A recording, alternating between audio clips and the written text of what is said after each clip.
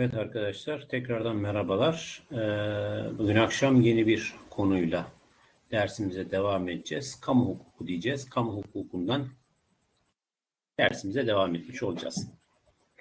Şimdi arkadaşlar kamu hukuku e, bizim devletimizin koymuş olduğu hukuk kurallarının kapsamını ifade etmektedir.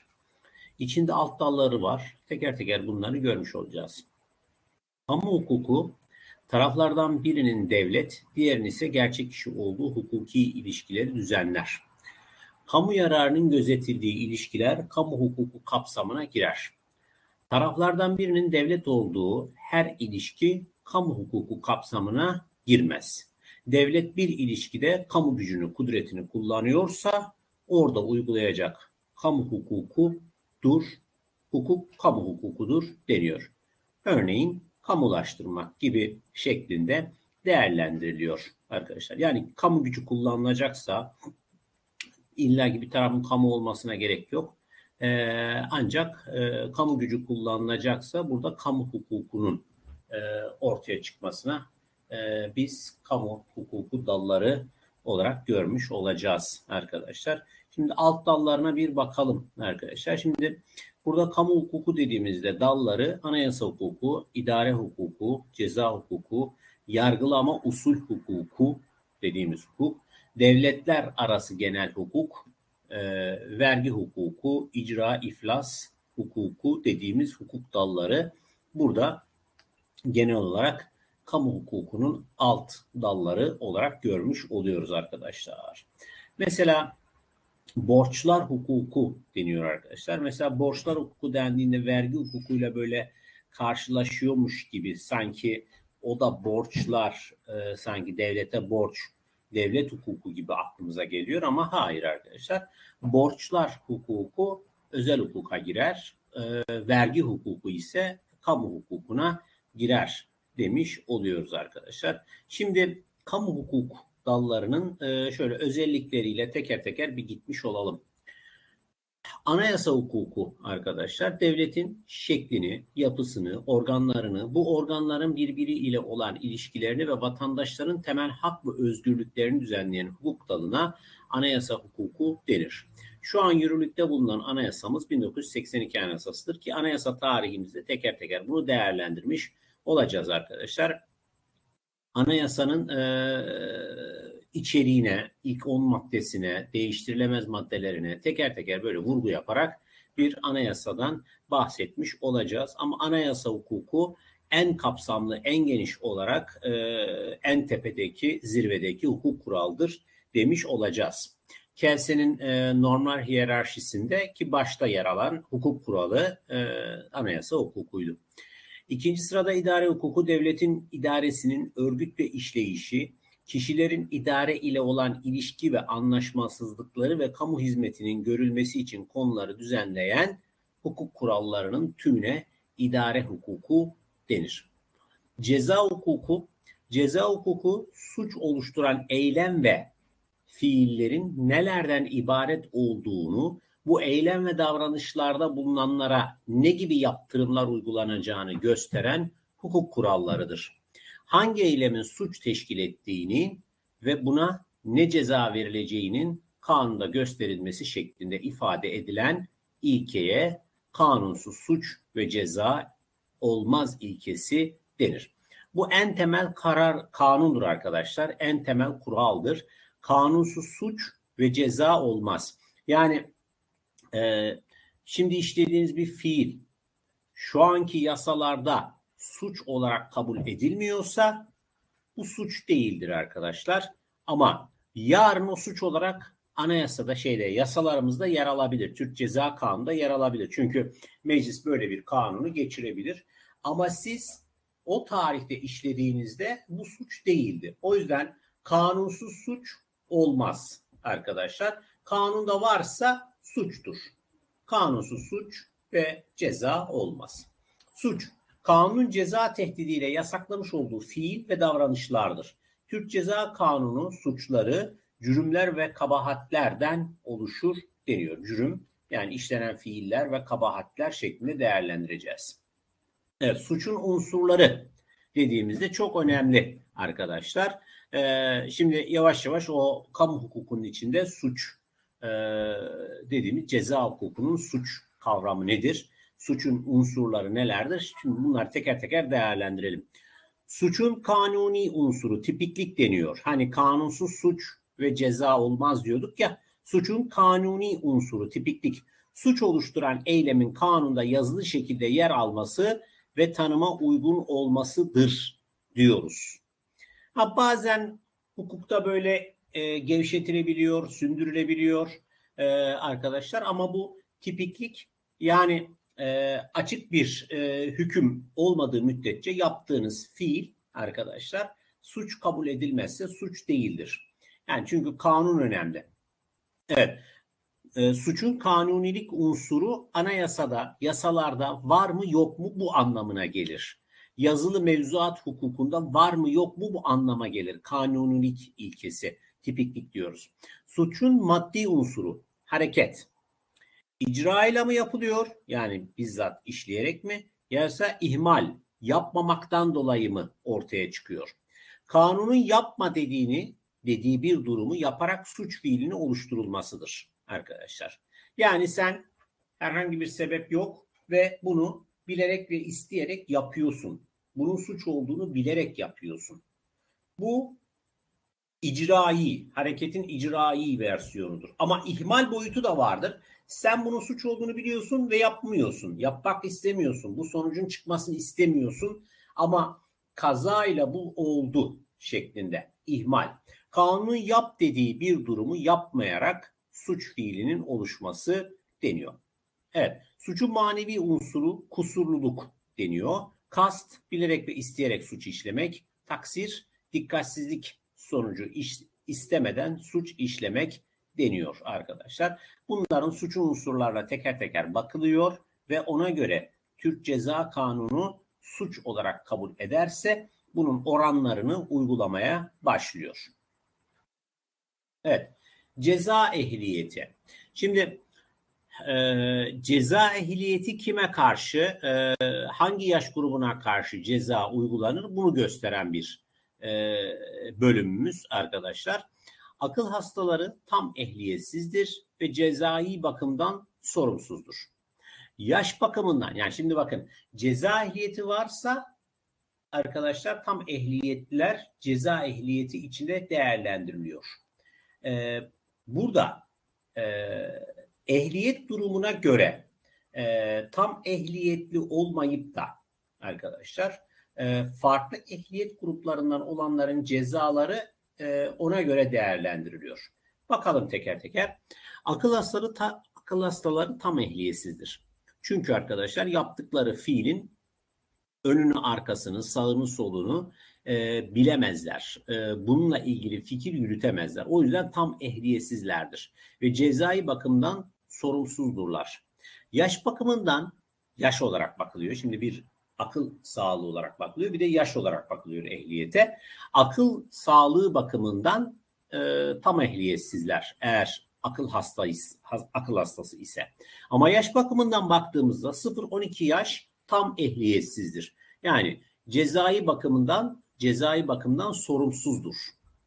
12-15 ve 15-18 yaş sınırı ehliyetsiz cezai bakımdan indirim yer alır. Sınırlı ehliyetsiz olarak değerlendiriliyor. 12-15 ve 15-18 yaş sınırlı ehliyetsizdir. Cezai bakımdan indirimli olarak değerlendiriliyor. 18 yaş ve üstü tam ehliyetlidir. Cezai bakımdan sorumlu olarak kabul ediliyor. Tabi burada arkadaşlar sağır ve dilsizlere üçer yaş ekleniyor.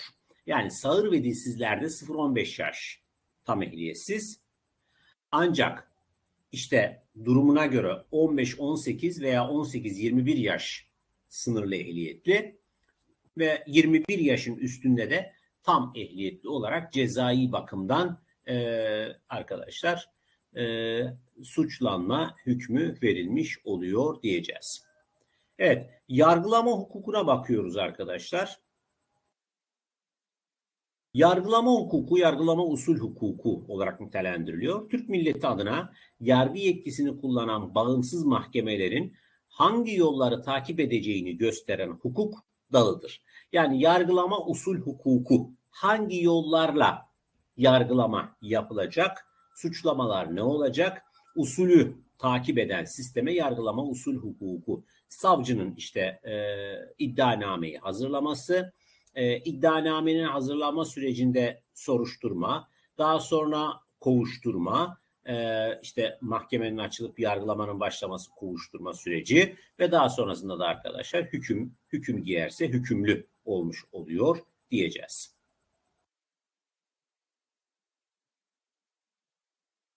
Evet, Türk milleti adına yargı yetkisini kullanan bağımsız, bağımsız mahkemelerin hangi yolları takip edeceğini gösteren hukuk dalıdır. Yargı ise hukuk kurallarının bağımsız mahkemelerce belli bir olaya uygulanmasıdır şeklinde değerlendiriyor yargı ise. Evet, bir diğer kolumuz devlette şey kamu hukukunda devletler genel umum hukuku diyoruz. Egemenliğe sahip bir devletin bir başka bağımsız devlet ile veya uluslararası kuruluşlarla girmiş olduğu ilişkileri düzenleyen bu hukuk dalına devletler genel hukuku denir arkadaşlar. Evet burada sıralamayı görüyoruz. Devlet devlet e, var. Dış hukuk ve eşitlik vardır. Devlet kişi iç hukuk ve devletin üstünlüğü ilkesi vardır arkadaşlar. Yani devletle bir devletin sıkıntısı varsa dış hukuk etkili ve eşitlik ilkesi vardır. Ama devletin bir kişiyle alakalı yani bir vatandaşı, İngiliz vatandaşı, Fransız vatandaşı vesaire orada iç hukuk kuralı uygulanır ve devletin kendi hukuku uygulanarak devlet hukuku üstün durumdadır diyeceğiz. Devletler genel hukukunun kaynakları milletler arası anlaşmalar, milletler arası teamüller, milletler arası iştihatlar ve doktrinlerdir deniyor arkadaşlar. Evet, vergi hukuku. Devlet ile kişiler arasındaki vergi ilişkilerinden doğan hak ve ödevleri, verginin tar, tebliğ, tahakkuk ve tahsilini düzenleyen kurallar vergi hukukunun konusunu oluşturur. Vergi, kamunun asli ve sürekli ihtiyaçlarını karşılamak için devletin kamu gücüne dayanarak topladığı ekonomik değere denir. Vergi ile devlet ve kişiler arasında mali bir ilişki doğar. Evet, vergi ile devlet ve kişiler arasında mali bir ilişki doğar.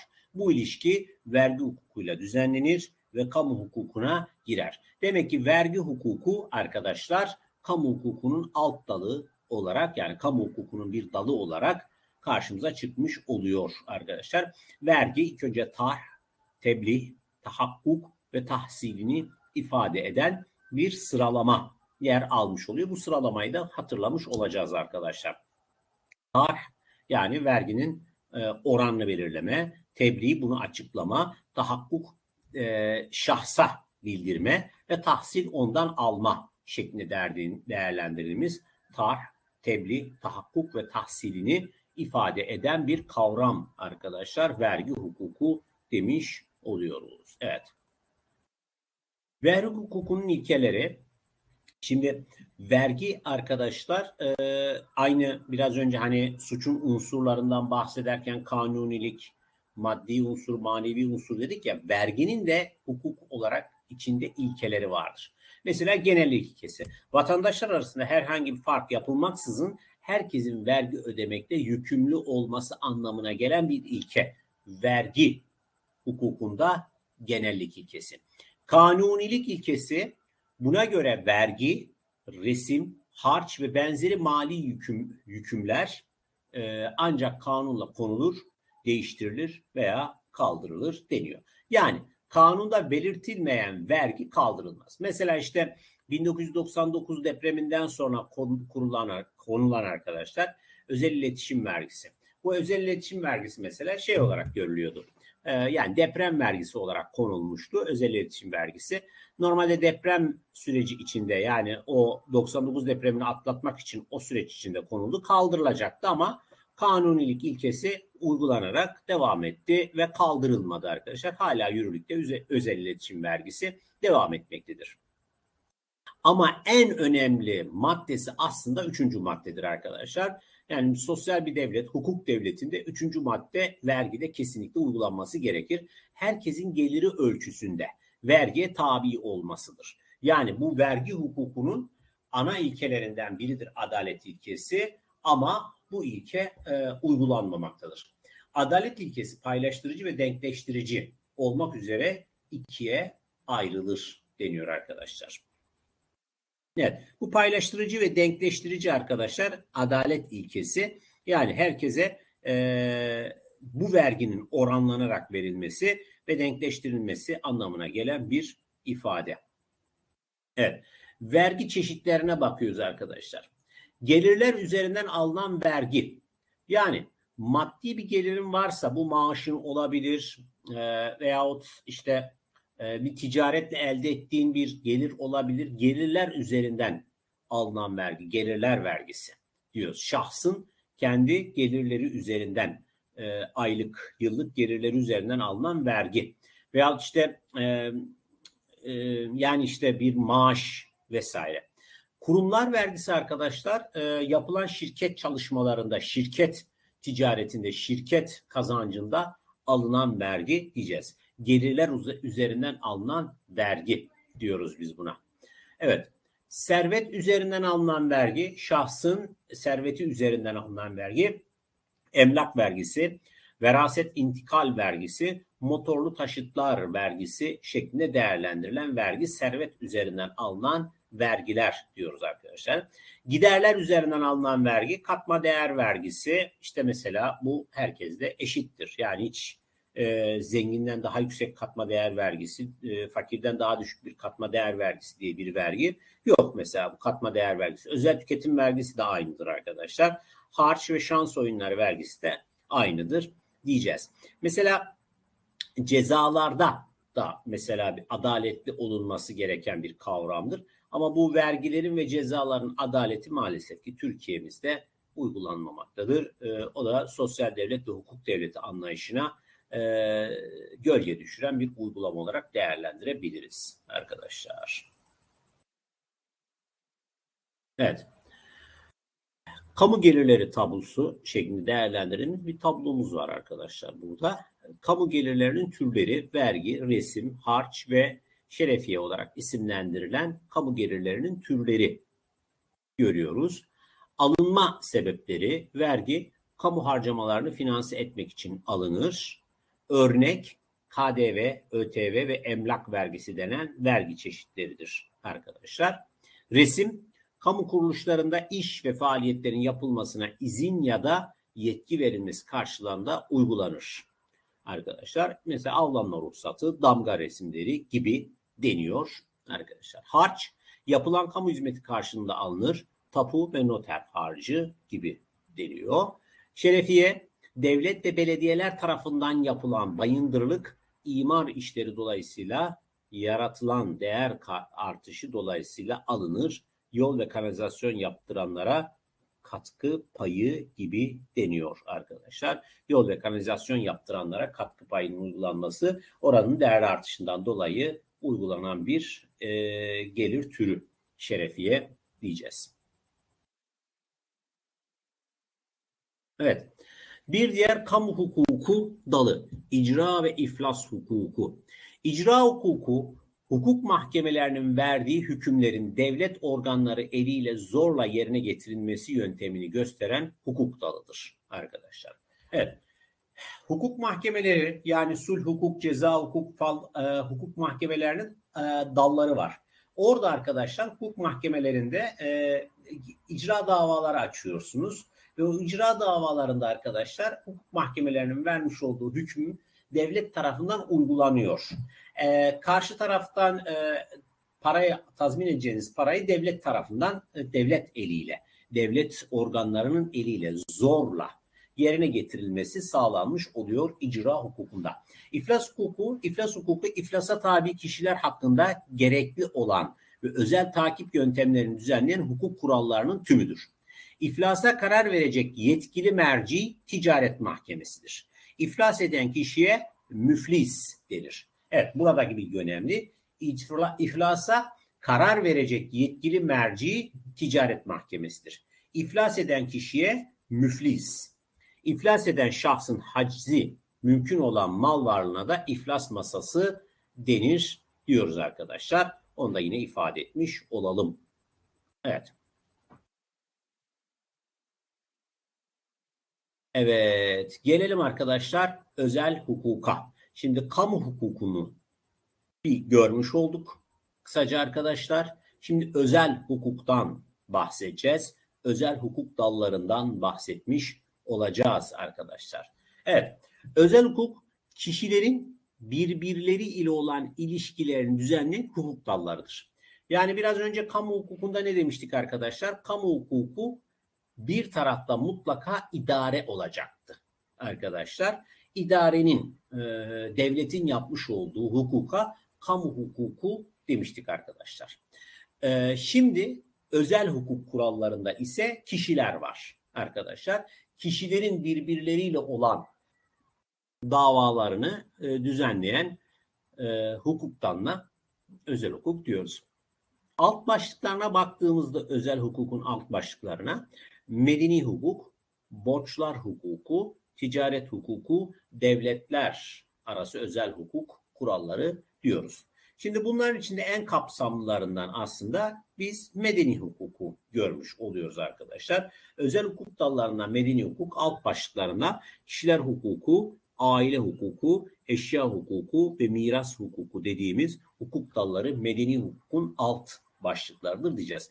Bu soru olarak gelebilir yani bilgi sorusu sonuçta e, KPSS arkadaşlar. KPSS genel kültürde, vatandaşlıkta e, hukuka girişte, temel hukuk bilgisinde bu sorulabilir. Yani medeni hukukun alt dallarından değildir ya da alt dallarından biridir şeklinde değerlendirilebilir. Kişiler hukuku, aile hukuku, eşya hukuku ve miras hukuku dediğimiz alt dallar medeni hukukun dallarıdır. Ticaret hukuku arkadaşlar ticaret işletme hukuku, şirketler hukuku, kıymetli evrak, evrak hukuku, deniz ticaret hukuku ve sigorta hukuku dediğimiz ticaret hukukunun alt dallarını görmüş oluyoruz. Devletler özel hukuku ise arkadaşlar uyrukluk, yabancılar hukuku ve kanunlar ihtilafı şeklinde değerlendirilen alt hukuk dallarını görüyoruz biz. Evet. Medeni hukuku şöyle bir değerlendirelim de arkadaşlar. Medeni hukuk özel hukukun en geniş ve en önemli dalıdır. Bu özelliğinden dolayıdır ki çoğu zaman medeni hukuk ve özel hukuk terimleri eş anlamlı olarak kullanılır. Medeni hukuk kişilerin toplu toplum halinde yaşaması bakımından bir hüküm ve değer ifade eden bütün eylem ve davranışlarını, işlem ve ilişkilerini düzenleyen hukuk kurallarının tümüdür. Evet bir daha başlıyoruz arkadaşlar. Medeni hukuk özel hukukun en geniş ve en önemli dalıdır. Bu özelliğinden dolayıdır ki çoğu zaman medeni hukuk ve özel hukuk terimleri eş anlamlı olarak kullanılır. Medeni hukuk kişilerin toplum halinde yaşamaları bakımından bir hüküm ve değer ifade eden bütün eylem ve davranışlarını, işlem ve ilişkilerini düzenleyen hukuk kurallarının tümüdür. Evet, Birincisiyle başlayalım arkadaşlar. Kişi, kişiler.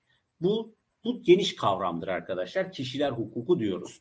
Kişiler hukuku hak sahibi olan varlıkların yani kişilerin türlerini, ehliyetlerini, kişisel durumlarını, yakınlarını ile yakınları ile olan ilişkilerini, hısımlığı, belirli bir yer ile olan ilgilerini, yerleşim yeri ilişkiliğinin başlangıcını ve sona ermesi ve korunmasını düzenleyen medeni hukuk koludur diyeceğiz arkadaşlar. Evet. Aile hukuku, aile hukuku olarak baktığımızda ikinci başlık, kısaca aile ilişkisi diyebileceğimiz bir takım ilişkileri düzenleyen medeni hukuk koludur.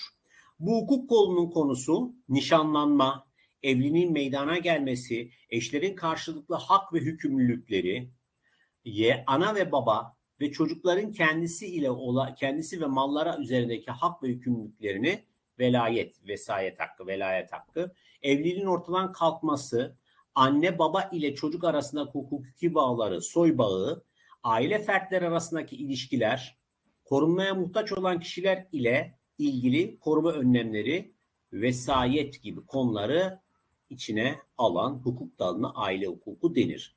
Aile hukuku demek ki eşlerle ilgili hukukmuş arkadaşlar. Eşler ve çocukları içine alan genel manada ilgili konu başlığı aile hukuku diyeceğiz. Evet, miras hukuku arkadaşlar gerçek bir kişinin ölümünden sonra para ile ölçülebilen bütün hak ve borçlarının kimlere ve nasıl geçeceğini düzenleyen hukuk kurallarından oluşan başlığımıza da miras hukuku diyoruz. Gerçek bir kişinin ölümünden sonra para ile ölçülebilen bütün hak ve borçlarının kimlere ve nasıl geçeceğini düzenleyen hukuk kurallarına biz miras hukuku diyoruz. İki ana konusu vardır. Miras kime kalacak? Miras nasıl geçecek dediğimiz başlıklarımız yer alıyor. Evet, medeni kanunda evet medeni kanunda buna mirasçılar ve mirasın geçmesi başlığı altında düzenlenmiştir. Miras mirasçılara kalır. Mirasçı ölen kimsenin mirasının ger- e, geçtiği gerçek ve tüzel kişilerdir. Evet. Mirasçı ölen kişinin mirasının geçtiği gerçek ve tüzel kişilerdir.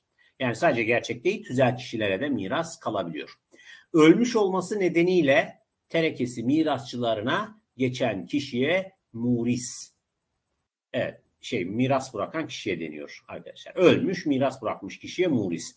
Onun mirasa konu olan bütün hak ve borçlarının toplamına da tereke, miras denir arkadaşlar. Yani tereke, miras dediğimizde geniş bir kavram olarak tereke olarak, tereke defteri Osmanlı'da mesela bu var arkadaşlar. Tereke defterleri vardır. Ee, şahsın kalan bütün mal varlığı, borçlarının hepsinin yazıldığı e, arkadaşlar defter, tereke defterleri denir. E, buna da isim olarak, terim olarak tereke ismi verilmiştir diyeceğiz. Evet, eşya hukuku. Kişilerin bir eşya üzerindeki hakimiyet ve tasarruflarının mahiyet ve türlerini, onların bu hakimiyet dolayısıyla diğer kişiler ile olan ilişkilerini düzenleyen hukuk dalıdır. Eşya hukukunun konusunu genelde aynı haklar oluşturur. Eşya hukukunun konusunu genelde aynı haklar oluşturur.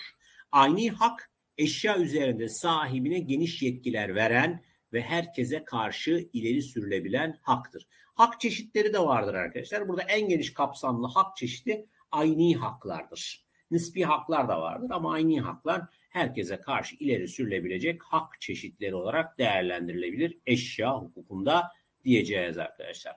Evet. Bir diğer arkadaşlar özel hukuk dalı borçlar hukuku. Kişiler arasındaki borç ilişkisini düzenleyen hukuk dalıdır. İki taraf arasında doğan ve bunlardan birinin diğerine karşı bir edimi yükün, e, yüklendiği ilişkidir. Bu ilişki hukuki ilişkilerden alım satım, kira sözleşmelerinden, haksız fiilden bir kişinin evinin camının kırma gibi mesela ya da sebepsiz zenginleşmeden dolayıdır, doğabilir. Borç ilişkisinde taraflardan biri alacaklı, biri borçludur. Ve bir borç ilişkisinden borçlunun yapmakla yükümlü olduğu davranışa edim denir. Yani edim arkadaşlar borcun genel adı olarak nitelendirildiğimiz isimdir edim. Borç ilişkisinde taraflardan biri alacaklı, diğeri borçlu ve bir borç ilişkisinde borçlunun yapmakla yükümlü olduğu davranışa edim denir. Yani ödemek veya ödememek yani ödemek vesaire yapmak. Edimin özellikleri, edimin konusu yapmak, yapmamak veya vermek biçiminde olabilir arkadaşlar. Ee, ki işte yapmak dediğimizde yani e, bir sözleşme yaptık, iş akti. Ee, sen ne yapman gerekiyor? Beş gün işe gelmen gerekiyor. Yani senin edimin bu. Yükümlülük görevin bu. Beş gün işe geleceksin. Beş gün e, pazartesiden e, cumaya kadar e, ders anlatacaksın. E, orada sözleşme bu yapmak şeklinde değerlendiriliyor. Veya yapmamak şeklinde arkadaşlar bir sözleşme de olabilir veya vermek şeklinde bir borç ifade edilebilir. Edimin konusu kanuna, ahlaka ve adaba aykırı olamaz. Yani o karşılıklı sözleşmeden doğan borçlanma da e, bizim yükümlülüğümüz, edimimiz kanuna, ahlaka ve adaba aykırı olamaz. Edimin konusu imkansız olamaz deniyor arkadaşlar. Evet, özelliklerinden. Evet, borçlar hukukunun temel ilkeleri. Evet, borçların nisbiliği ilkesi vardır. Yani nisbilik kime? Ee, borçlu olan kişiye karşı borç ileri sürülebilir. Yani benim birinden alacağım var ama ondan alamıyorum. Gidiyorum ailesinden almaya çalışıyorum. Böyle olmaz. Borcun nisbiliği vardır yani şahsa bağlıdır. İfa, borcun temel ilkelerinden ifa yani yerine getirme. Borcunu yerine getirme hukuk olarak ifa etme anlamına gelir. Sözleşme özgürlüğü ilkesi arkadaşlar. Sözleşme özgürlüğü ilkesinde herkes istediği gibi e, sözleşme yapma hakkına sahiptir. Ama nedir? Kanuna, adaba ve ahlaka aykırı olmayacak. Üçüncü kişi ile e, aleyhine borç kurulamaması ilkesi. Yani üçüncü kişi dediğimiz işte e, arkadaşlar e, yani e, iki kişi arasında bir borç var ama sen üçüncü kişiye bunu yürütmeye çalışıyorsun. Olmaz. Eşitlik ilkesi var arkadaşlar. Evet. İbra var. E, borçlunun ikametgahında ifa ilkesi var. E, yani borç nerede e, imzalanmışsa orada ifa edilmesi lazım. Kusursuz imkansızlık yani benim bir borcum vardı. Nedir? Parasını ödedi bana. Bir tablo olacaktı ama yangın çıktı. O tablo yandı. E ben bu borcumu ifa edemeyeceğim. Parasını almıştım. Tabloyu verecektim ama tablo yandı. Bu kusursuz imkansızlıktır. Yani benim ihmalim e, olmadan yani herhangi bir kusurum e, bir olmadan bir e, başına bir iş geldi ve kusursuz imkansızlık olarak değerlendiriliyor. Dürüstlük ilkesi yani e, orta zekada, orta düzeyde bir insanın e, davranışı kusursuzluk, e, şey dürüstlük anlamına gelir arkadaşlar. Yani dürüst davranmak. Takas ilkesi var. E, yani borcun borçla takas edilmesi gibi arkadaşlar. Kusursuz e, şey kusurlu sorumluluk ilkesi var. Benim sorumluluğumdan dolayı kusurlu bir olay olduysa e, bu arkadaşlar karşılanmam gereken bir borçtur. İvazlılık deniyor. Karşılıklılık yani karşılıklı bu e, sözleşmeyi iki kişinin yapması ivazlılık şeklinde değerlendiriliyor. Bunu borcu sona erdiren nedenler yenileme, tecdit borcu sona erdirir arkadaşlar. E, ki e, biz buna ne diyeceğiz? E, borcu sona erdirmede e, arkadaşlar yenileme olarak değerlendireceğiz. Yani e, borcu sen e, dedin ki ya ben bunu 10 liraya satmıştım ama bunu 8 liraya düşürdüm. Senin bana borcun 8 lira. Borç yenilenmiş oldu. Birleşme yani ben e, bir şirkete borcum vardı. O şirketi aldım. O şirketle beraber birleşti. Arkadaşlar diyeceğiz. Evet. Zaman aşımı borcu sona erdirmez arkadaşlar. Eksik borç olarak varlığını sürdürür. Eksik borç dava edilemeyen, talep edilemeyen borçtur şeklinde değerlendiriliyor. Yani zaman aşımı borcu bitirmez arkadaşlar. Bunu da bu şekilde ifade etmiş olalım. Evet. Gelelim özel hukukta ticaret hukukuna arkadaşlar. Ticaret hukuk kişiler arasındaki ticari ilişkileri düzenleyen hukuk dalıdır diyoruz. Bunun da içinde alt başlıklar yine vardır ticaret hukuku arkadaşlar. Kişiler arasındaki ticari ilişkiler düzenleyen hukuk dalına ticaret hukuku denir.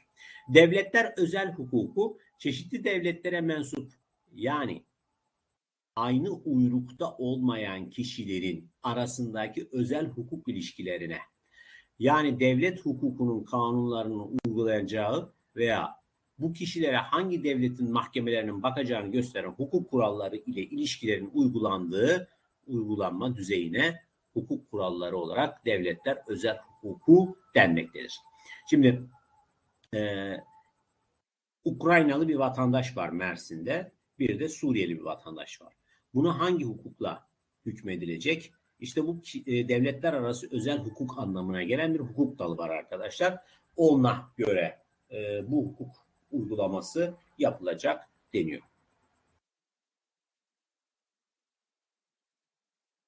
Evet, özel hukukun konuları. Özel hukukun konularında dediğimizde bir vatandaşlık, uyrukluk var arkadaşlar. Gerçek kişileri, tüzel kişileri, uç, e, uçakları ve gemileri devlete bağlayan hukuki ve siyasi bağ uyrukluk denir. Gerçek kişileri, tüzel kişileri, uçakları ve gemileri devlete bağlayan hukuki ve siyasi bağ uyrukluk denir. Bir devletin uyruğu uyrukluk bağıyla bağlı olan gerçek kişilere ise vatandaş, tebaa adı verilir. Doğumla kazanılan vatandaşlara asli, doğum dışı kazanılan vatandaşlara ise müktesep vatandaşlık denir arkadaşlar. Bu şekilde de bir e, ayrım yer almış oluyor. Asli vatandaşlık ve müktesep vatandaşlık olarak telendirilen bir vatandaşlık çeşidi diyeceğiz. Yabancılar hukuku bir devletin ülkesinde oturan ama o devletin vatandaşlığını kazanmamış kişilere yabancı denir. Yabancılar bulundukları ülkenin yararlandığı her haktan yararlanamazlar. Örneğin yabancılar özel hakların tümünden yararlanırken kamu haklarından faydalanamazlar yabancılar. Bu nedenle yabancıların hangi haklardan yararlanacağını yabancılar hukuku tarafından düzenlenmektedir diyeceğiz arkadaşlar. Yabancılar hukukunu bu şekilde değerlendireceğiz. Türkiye'mizde özellikle çok e, artan yabancıların e, böyle ayrı bir hukuk dalı olarak yabancılar hukuku üzerinden e, düzenlenmesini ifade etmiş oluyoruz arkadaşlar. Evet. Burada ara verelim. Bir sonraki ders arkadaşlar bu testimizden devam ederiz. Tamam.